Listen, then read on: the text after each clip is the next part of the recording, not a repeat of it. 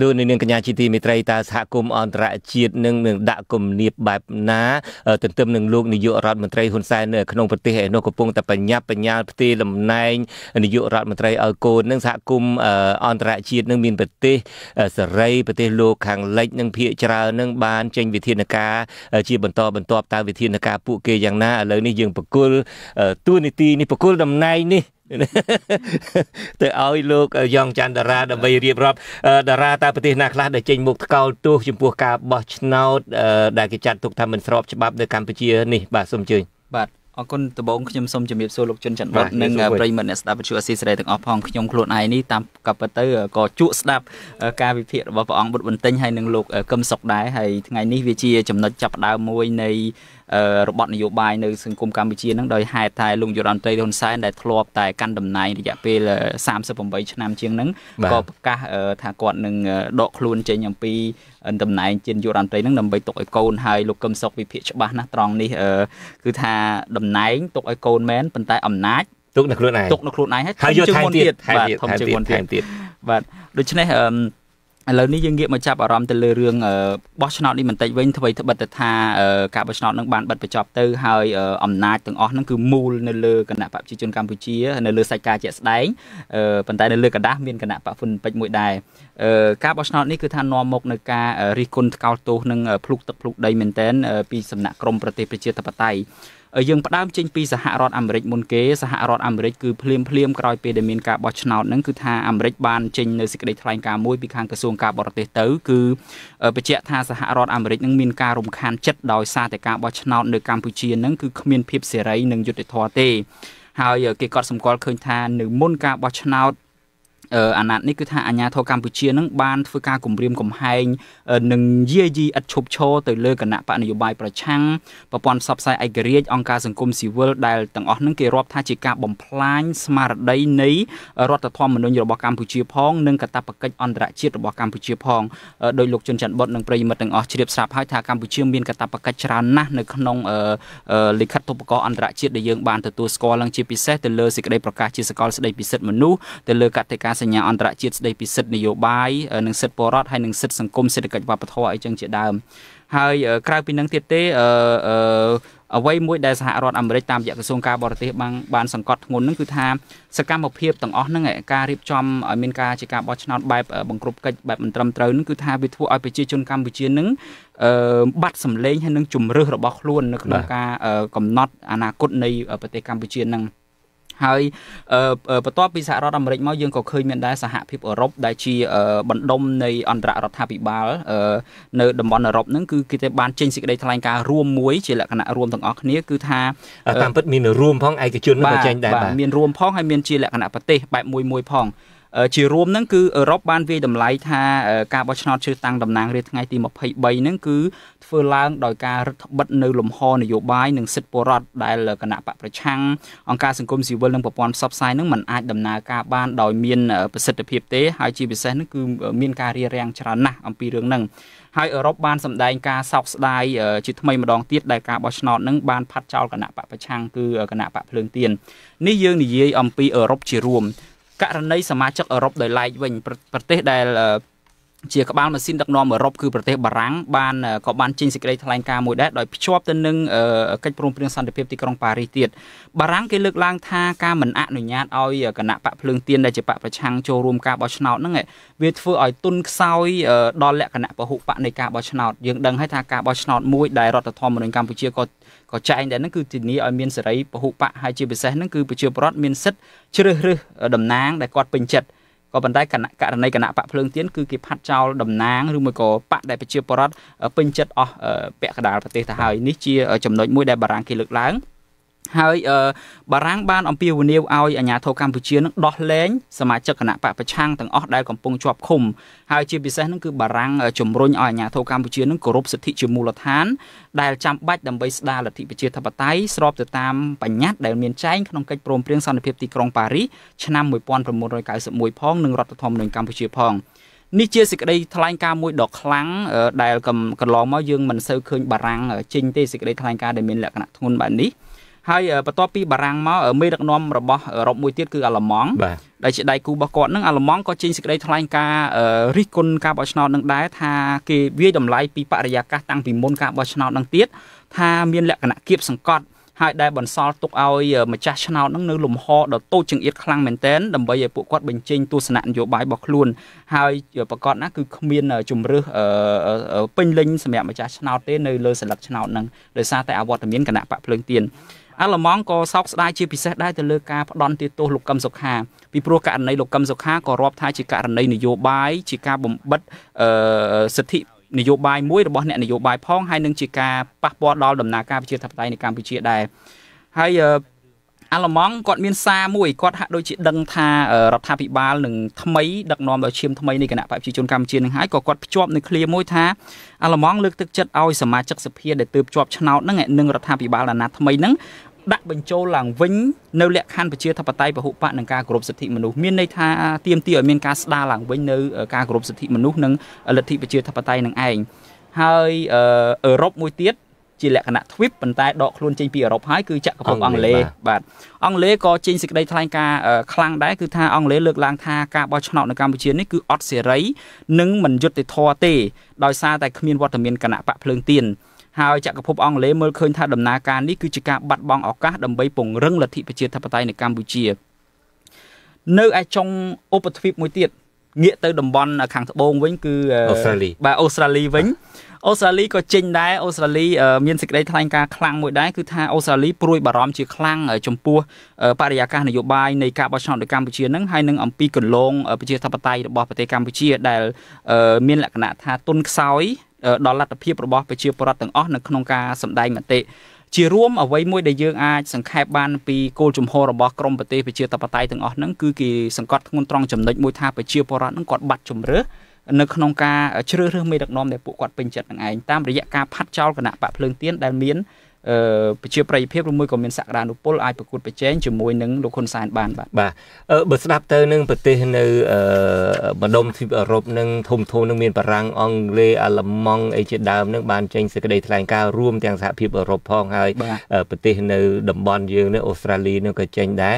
នៅសហរដ្ឋអាមេរិកនេះប្រទេសធំធំមានពីរនឹងមានអាមេរិកក៏ចេញសេចក្តីថ្លែងការណ៍នឹងកាណាដាការពិតនឹងក៏មានចេញសេចក្តីថ្លែងការណ៍នឹងថ្កោលទោសហើយនឹងប្រកាសអំពីរឿងការគម្រោងការដាក់ទណ្ឌកម្មឯនឹងដែរចុះក្រៅតែអំពីប្រទេសអឺទាំងអស់នឹងចុះក្រមអង្គការអន្តរជាតិវិញតើគេមានមតិយោបល់មានការចេញសារបែបណាដែរសូមសង្ខេបដោយត្រួសត្រាសតាបាទលោកជុនច័ន្ទបុតអឺតាមពិតទៅដោយលោកជុនច័ន្ទបុតជំរាបចឹងមានប្រទេសមួយចំនួនទៀតដូចជាកាណាដាអីក៏គេបានចេញដែរហើយប៉ុន្តែចម្លែកមួយដែលយើងត្រូវរងចាំមើលទាំងអស់គ្នាគឺអាស៊ាន សមាជិកអាស៊ានមកដល់ពេលនេះយើងដូចជាមិនទាន់ឃើញមានសេចក្តីថ្លែងការណ៍ជាលក្ខណៈប្រទេសតែម្ដងទេហើយយើងនឹងរងចាំមើលតទៀតប៉ុន្តែដោយឡែកបាទសំខាន់មួយអ្វីដែលប្លែកមួយកាលពីបោះឆ្នោតលើកមុនណាគ្រាន់តែមិនទាន់មានគោជបនឹងចេញ សេចក្តីប្រកាសលទ្ធផលផ្លូវការឲ្យផងវៀតណាមនឹងចេញគ្រប់គ្រងភ្លាមបាទជនចិត្តឥឡូវនេះវៀតណាមនឹងក៏ស្ងាត់ដូចតារាលើកឡើងអញ្ចឹងក្នុងចំណោមប្រទេសអាស៊ាននឹងដូចជាស្ងាត់ជ្រាបទាំងមក9ប្រទេសទៀតហ្នឹងបាទប្រហែលជាគេនៅអាចរងចាំមើលឬមួយក៏គេអាចនឹងចេញនៅពេលដែលប្រកាសលទ្ធផលផ្លូវការដែលអាចនឹងធ្វើនៅដើមខែក្រោយនេះអឺប៉ុន្តែក្រៅពីប្រទេសប្រជាធិបតេយ្យហ្នឹងយើងក៏ងាកមកចាប់អារម្មណ៍នឹងអង្គការ អន្តរជាតិធំធំវិញគឺអង្គការតំបន់ដែលធ្វើការទៅលើរឿងសិទ្ធិមនុស្សប្រជាធិបតេយ្យហ្នឹងគេបានរួមគ្នាចេញនៅសេចក្តីថ្លែងការណ៍មួយដែលនិយាយអំពី ធម៌មានរូបឬមួយក៏ legitimacy ដែលយើងនិយាយថាភាពស្របច្បាប់ភាពស្របច្បាប់ហ្នឹងកង្វះភាពស្របច្បាប់នៃការបោះឆ្នោតហ្នឹងគឺដោយសារតែយើងអត់បានប្រព្រឹត្តទៅដោយស្របទៅតាមខ្លឹមសារនៃរដ្ឋធម្មនុញ្ញហើយនឹងកាតព្វកិច្ចកម្ពុជាជាអន្តរជាតិហ្នឹងទេហើយអង្គការទាំង17ស្ថាប័នហ្នឹងមានដូចជាអង្គការសមាជិកសភាអាស៊ានដើម្បីសិទ្ធិមនុស្ស17ផងណាបាទ17ស្ថាប័នជាអង្គការតំបន់អង្គការដែលធ្វើការដែលអ្នកមួយចំនួនមានមូលដ្ឋានឬមួយក៏មានការិយាល័យនៅបាងកកនៅប្រទេសថៃបាទ ហើយប៉ុន្តែក្នុងចំណោម17នឹងប្រកាសជាមានអីក្រុមអាស៊ាននឹងដែរអ្នកដែរបាទបាទមានសមាជិកសភាអាស៊ានដើម្បីសិទ្ធិមនុស្សគឺឬមួយក៏ APHR ហ្នឹងមាន អង្គការ Forum Asia ហើយនិងអង្គការ Unfrail ជាដើមហ្នឹងបានចេញសេចក្តីថ្លែងការណ៍រួមគ្នាដោយពួកគេសម្ដែងការសោកស្ដាយជាខ្លាំងចំពោះការបោះឆ្នោតនេះដោយពួកគេវាតម្លៃថាជាការបោះឆ្នោតមួយដែលខ្វះការប្រកួតប្រជែងពិតប្រាកដហើយនឹងមិនប្រកបដោយអត្ថន័យទេ ជាពិសេសគឺมันបានប្រកាន់ខ្ជាប់នៅគោលការណ៍ប្រជាធិបតេយ្យនិងស្តង់ដារបោះឆ្នោតជាអន្តរជាតិនឹងឯងបាទអង្គការ Human Rights Watch វិញលោកជួនច័ន្ទបតសំកាត់ផ្សះមួយ Human Rights Watch លោក Phil Robertson ដែលយើងដឹងថាគាត់ជាអ្នកជំនាញច្បាប់និងសិទ្ធិមនុស្សអន្តរជាតិដែលតែងតែប្រើភាសាខ្លាំងខ្លាំងចំពោះរបបដឹកនាំរបស់លោកហ៊ុនសែនហ្នឹងគាត់លើកឡើងចំណុចមួយដែលគួរឲ្យចាប់អារម្មណ៍គាត់ថាការបោះឆ្នោតនឹងទាំងមូល គឺជាឆាកលខោនដែលគេរៀបចំឡើងនេះដើម្បីផ្ដល់ឲ្យលោកហ៊ុនសែននិងគណៈបកប្រជាជនកម្ពុជានឹងនៅហេតុផលស្របច្បាប់មួយ ថាពួកគេជាក្រុមប្រជាធិបតេយ្យបាទក៏ប៉ុន្តែធៀបពិតការពិតនោះគឺថាពួកគេនេះកំពុងត្រួតត្រា ទៅលើរបបផ្ដាច់ការដ៏ស៊ីរុងផ្ទៃក្នុងមួយអញ្ចឹងអឺអ្វីដែលគាត់វាតម្លៃនេះគឺវាស្ដែងចេញមកហើយគឺថាការរៀបចំមួយដែលមានបកចូលរួមច្រើនហើយឥឡូវនេះមានទាំងហ្វុនសិនពេចផងទៅគឺគេបាទគាត់បង្ហាញអាហ្នឹងគាត់អះអាងអាហ្នឹងគាត់យកអាហ្នឹងជាហេតុផលថាប្រជាធិបតេយ្យហើយប៉ុន្តែធៀបពិតនោះឥឡូវនេះការផ្ទេរអំណាចក៏កំពុងតែចាប់ដើមបដើបដើហើយហើយអ្នកណាដែលក្តាប់អំណាចរួមទាំងអស់ហ្នឹងឥឡូវនេះក៏យើងនឹងឃើញដែរ បាទលោកចិនច័ន្ទបុតបាទហើយយើងនិយាយអំពីការដែលមតិរិះគន់ការមិនគ្រប់គ្រងការបោះឆ្នោតការមិនគ្រប់គ្រងសកម្មភាពរបស់លោកហ៊ុនសែនថាជាសកម្មភាពคล้ายៗជាដើមចុះក្រៅពីនឹងមានទេនៅលើពិភពលោកនេះមានប្រទេសណាខ្លះអីគេទៅកណិបកណប់អីអបអសាទរអីខ្លះទេប្រទេសណាខ្លះរៀបរាប់ត្រួសត្រាសមើលបាទលោកជនច័ន្ទបុតហើយនឹងប្រិយមិត្តប្រកាសជាមានហើយធម្មតាទេបើយើងនិយាយក្នុងន័យសាមញ្ញថាសំបីតែ ចៅក៏មានបនភឿនមួយក៏បាក់ពួកជាចៅដូចគ្នាដែរក៏គេមានអ្នករាប់រកគ្នាគេដែរក្នុងករណីចង់និយាយថាលោកហ៊ុនសែនចៅនឹងមានចៅគ្រប់គ្រងដែរបាទលោកជុនច័ន្ទបុតយើងឃើញហើយសម្ព័ន្ធមិត្តដែលគាត់យកជាខ្នងបង្អែកនោះគឺចិនចិនគឺថាពេញចិត្តពេញថ្លើមមែនតើគឺថាក្រសួងការបរទេសចិននៅក្រោយការបោះឆ្នោតនៅកម្ពុជានឹងបានប្រកាសអបអរសាទរយ៉ាងកក់ក្ដៅចំពោះការរៀបចំការបោះឆ្នោតនឹងដែលចិននឹងគេអះអាងថាធ្វើឡើងដោយរលូន ហើយចិននឹងជឿជាក់ថាកម្ពុជានឹងទទួលបានសមិទ្ធផលកាន់តែច្រើនទៀតនៅក្នុងការអភិវឌ្ឍហើយនឹងកសាងប្រទេសកម្ពុជាព្រមទាំងនាំមកនូវផលប្រយោជន៍កាន់តែច្រើនដល់ប្រជាជនកម្ពុជានេះជាសេចក្តីថ្លែងការណ៍មួយរបស់ក្រសួងការបរទេសហើយលោកស៊ីជីនពីងដែលជាប្រធានាធិបតីចិននឹងក៏មាននៅសេចក្តី លិខិតមួយដើម្បីអបអរលោកហ៊ុនសែនដែរអបអរជ័យជំនះនឹងដែរហើយស៊ីជីនពីងនឹងគាត់បានបញ្ជាក់ថាគាត់នៅរងចាំធ្វើកិច្ចការងារជាមួយលោកហ៊ុនសែនដើម្បីពង្រឹងបន្ថែមទៀតនៅទំនាក់ទំនងប្រតិបត្តិការនិងការផ្លាស់ប្ដូរគំនិតរវាងបកកុម្មុយនីសចិននិងគណៈបកប្រជាជនកម្ពុជានឹងដើម្បីគេហៅថាកសាងនៅអ្វីមួយដែលជាសហគមន៍ជោគវាសនារួម one community one destiny របស់ចិនហើយនិងកម្ពុជានឹង ហើយងាកទៅប្រទេសនៅតំបន់អឺរ៉ាស៊ីវិញ គឺរុស្ស៊ីបាទអឺរ៉ុបផងអាស៊ីផងហ្នឹងដែលมันមានលក្ខណៈប្រជាធិបតេយ្យសោះហ្នឹងបែរជាវាតម្លៃចេះទៅវិញថាការបោះឆ្នោតហ្នឹងគឺជាការអនុវត្តលទ្ធិប្រជាធិបតេយ្យហើយស្របតាមលទ្ធិប្រជាធិបតេយ្យហើយលទ្ធិប្រជាធិបតេយ្យដូចនៅរុស្ស៊ីបាទនៅរុស្ស៊ីបាទឯកអគ្គរដ្ឋទូតរុស្ស៊ីលោកអាណាតូលីបូរូវិកហ្នឹងគាត់ បានលើកឡើងក្នុង Twitter គាត់ថារុស្ស៊ីនឹងស្វាគមន៍ការបោះឆ្នោតដែលសេរីនិងឯករាជ្យដែលប្រព្រឹត្តទៅនៅកម្ពុជានឹងជាពិសេសនេះគឺអត់មានអំពើហិង្សាណាមួយកើតឡើងទេគាត់គាត់ដូចជាដឹងថាអត់មានអំពើហិង្សាទេណាប៉ុន្តែនៅរុស្ស៊ីខ្លួនឯងរុស្ស៊ីលើកតបឈ្លានពានអ៊ុយក្រែនលោកជនច័ន្ទបុតហើយចំណុចមួយលោកជនច័ន្ទបុតសុំបន្តបន្តិចទេគឺថាមានប្រទេសមួយដែរមកពីទ្វីបអាហ្វ្រិកខាងលិចយើងសឹងតែមិនដែលឮគឺប្រទេសហ្គីណេប៊ីសាវដែលប្រទេសហ្នឹងក៏ជា ប្រទេសមួយដែលលំអៀងទៅរកចិននៅក្នុងតំបន់អាហ្វ្រិកនឹងដែរហើយជាប្រទេសមួយដែលដូចថាក្រីក្រខ្លាំងមែនទែនណាមានប្រជាជនតិចទេប្រហែល2 3លានអ្នកអីតែប៉ុណ្្នឹងទេហើយអឺនាយករដ្ឋមន្ត្រីរបស់គីណេប៊ីសាវនឹងឈ្មោះ Nuno Gomez Nabim នឹងគាត់បានមកសង្កេតការការបោះឆ្នោតនឹងហើយវាតម្លៃថាការបោះឆ្នោតនឹងប្រព្រឹត្តទៅដោយសេរីយុត្តិធម៌ចឹងទៅបាទលេងគេយកតែលេងចឹងទៅតែសាហូបអាហារពេលល្ងាចជាមួយគ្នាទៀតបាទបាទអឺ តារាបានរៀបរាប់ឲ្យមិញថាបើទុកតាចៅនឹងក៏មានបនភឿននឹងជាចៅដូចគ្នាដែរខ្ញុំយល់អំពីពាក្យនេះក៏ប៉ុន្តែក៏ចង់សួរទៀតថាការបោះឆ្នោតនឹងតែមួយរៀបចំតែមួយនឹងទេហេតុអីក៏មានប្រទេសខ្លះគ្រប់គ្រងប្រទេសខ្លះមិនគ្រប់គ្រងក្រៅតែពីចៅស្រឡាញ់ចៅដូចគ្នានឹងមានអីថែមទៀតទេបាទលោកជុនច័ន្ទបុតនេះជាចំណុចមួយសំខាន់ដែលជាទូទៅរឿងតែមួយសោះអង្គហេតុតែមួយសោះអាច ចេញជាការវាយតម្លៃផ្សេងគ្នាបានដូចផ្លែប៉ោមួយអញ្ចឹងមើលមកជ្រុងទៅឃើញស្នាមខំដោយសារយើងមើលឃើញស្នាមខាងជ្រុងខំដល់ពេលមកខាងទៀតអត់ឃើញជ្រុងខំយើងឃើញតែផ្លែប៉ោមហ្នឹងល្អបាទឥឡូវយើងងាកមកចាប់អារម្មណ៍នឹងបរិបទនេះវិញអឺវាអាចតាក់ទងទៅនឹងរឿងផលប្រយោជន៍និងជំហរនយោបាយបើយើងនិយាយថាសម្រាប់ក្រុមអ្នកសង្កេតការអន្តរជាតិចោះគាត់មានគាត់អាចមានផលប្រយោជន៍ឧទាហរណ៍ផលប្រយោជន៍ផ្នែកលុយកាក់ ឬមួយក៏ដំណើរទេសចរដែលរបបលោកហ៊ុនសែនរៀបចំឲ្យគាត់មកសង្កេតការអញ្ចឹងទៅហើយជាទូទៅនៅពេលដែលអ្នកកសែតសួរសំណួររឿងលុយកាក់អ្នកណាជាអ្នក support ដំណើររបស់ពួកគាត់មកហ្នឹងម្នាក់ម្នាក់ឆ្លើយអត់ចង់ចេញទេហើយច្រើនតែនិយាយថា why you ask that question អញ្ចឹងទៅហេតុអីបានមកសួររឿងលុយកាក់វិញអីអីចឹងតាមការពិតនេះជាចំណុចរសើបមួយដែលយើងគិតថាអាចជាហេតុផលដែរដែលសម្រាប់ការវិតម្លៃថាការបោះឆ្នោតហ្នឹងល្អត្រឹមត្រូវអញ្ចឹងទៅពីសំណាក់ ប្រតិភូសង្កេតការពីអន្តរជាតិដែលជាប្រទេសមិនសូវមានប្រជាធិបតេយ្យឬមួយក៏ក្រមដែលមកពីប្រទេសផ្ដាច់ការហ្នឹងសម្រាប់ប្រទេសផ្ដាច់ការជាលក្ខណៈរដ្ឋាភិបាលឬមួយក៏មិនមានប្រជាធិបតេយ្យត្រឹមត្រូវ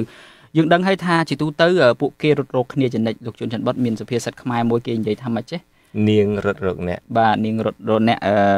មិនបាច់និយាយបន្ថែមគ្រុតក្រៀតពេកបាទគ្រុតក្រៀតពេកយើងមិនចង់និយាយទេប៉ុន្តែជំហរបើយើងនិយាយពីជំហរនយោបាយគឺដូចជាចិនជាដើមយើងដឹងហើយរដ្ឋាភិបាលលោកហ៊ុនសែនតែងតែគ្រប់គ្រងចិនចនិចគ្រប់គ្រងទៅលើគោលនយោបាយចិនតែមួយគ្រប់គ្រងការសម្រេចឬមួយក៏ទង្វើរបស់ចិនជាច្រើននៅលើគោលនយោបាយអន្តរជាតិនឹងដូច្នេះជាធ្នូមកវិញគាត់ជាផលប្រយោជន៍មកវិញគាត់ក៏ទទួលបានការគ្រប់គ្រងពីចិនដែរអញ្ចឹងគេគ្រប់គ្រងគ្នាទៅវិញទៅមកទេអត់មានអីចម្លែកទេ រុស្ស៊ីក៏អញ្ចឹងដែររុស្ស៊ីតាមពិតទៅលោកហ៊ុនសែននឹងគ្រប់គ្រងរុស្ស៊ីតែអញ្ចឹងទេគ្រាន់តែថាដើម្បីនៅក្នុងឱកាសដែលគាត់ជាប្រធានអាស៊ាននេះឲ្យស្របទៅនឹងជំហររបស់អាស៊ានគាត់ play politics បន្តិចទៅទៅគ្រប់គ្រងអឺមិនមិនគ្រប់គ្រងការឈ្លានពានរបស់រុស្ស៊ីអីតែប៉ុណ្្នឹងទេ ប៉ុន្តែឲ្យលើសពីហ្នឹងក៏គាត់មិនបានបង្ហាញជំហរអីហ្នឹងខ្លាំងក្លាដែរហើយដូចជាប្រទេសហ្គីណេប៊ីសាវនេះគាត់ដូចហាក់ដូចជាកំពុងតែចង់មានតំណែងតំណងចង់មានតំណែងតំណងការទូតអីចឹងទៅគាត់ក៏មកប្រស្រ័យតាក់ទងមួយកម្ពុជាជាពិសេសកម្ពុជាហើយនិងប៊ីសាវហ្នឹងស្តៀងគ្នាហ្នឹងគឺរៀងរណបចិនដូចគ្នាចឹងលោកជុនច័ន្ទបុតហើយប្រទេសមួយទៀតវិញដូចជាទីមួខាងកើតអីគាត់គាត់ហាក់ដូចជាមានសម្បានចិត្តជាមួយលោកហ៊ុនសែនដោយសារគាត់ អឺលោកហ៊ុនសែនតែងតែជួយជ្រោមជ្រែងជួយជំរុញដើម្បីឲ្យទីម័ខាងកើតខ្លាយជាសមាជិកពេញសិទ្ធិរបស់អាស៊ានដូច្នេះហើយការវាយតម្លៃហ្នឹងគឺប្រហែលជាចឹងហើយបាននាំឲ្យមានការវាយតម្លៃថាការបោះឆ្នោតហ្នឹងត្រឹមត្រូវសេរីអីចឹងទៅតាមលក្ខណៈប្រជាធិបតេយ្យរបស់ពួកប្រទេសផ្ដាច់ការហ្នឹងក៏ប៉ុន្តែសម្រាប់ក្រមប្រទេសប្រជាធិបតេយ្យអាចមិនមែនមូលហេតុហ្នឹងទេ ខ្ញុំគិតថាប្រហែលជាមូលហេតុតែមួយទេដែលក្រមប្រទេសប្រជាធិបតេយ្យ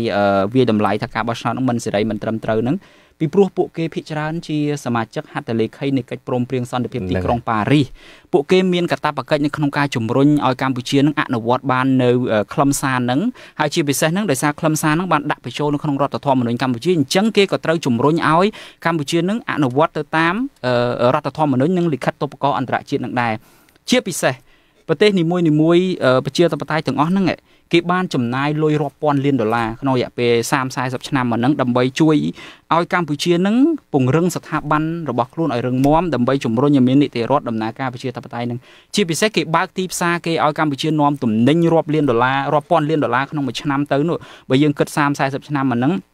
មិនដឹងប្រមាណ10000លានដុល្លារហើយទេដែលកម្ពុជាចំណេញឬមួយក៏លក់បាននៅលើទីផ្សារគេនឹងអញ្ចឹងគេគ្រាន់តែចង់ឲ្យកម្ពុជានឹងអនុវត្តស្របទៅតាមរដ្ឋធម្មនុញ្ញរបស់ខ្លួនហើយនឹងលិខិតតុបករអន្តរជាតិដែលយើងបានផ្ដល់សច្ចាប័ននឹងទេ